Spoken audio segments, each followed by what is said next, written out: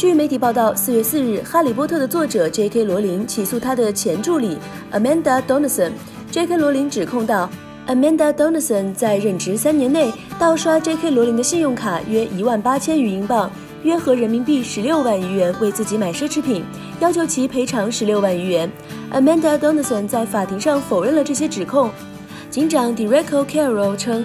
他有欺诈的嫌疑，因为他在花这些钱的时候知道这并没有通过 J.K. 罗琳的同意。非凡娱乐实时报道。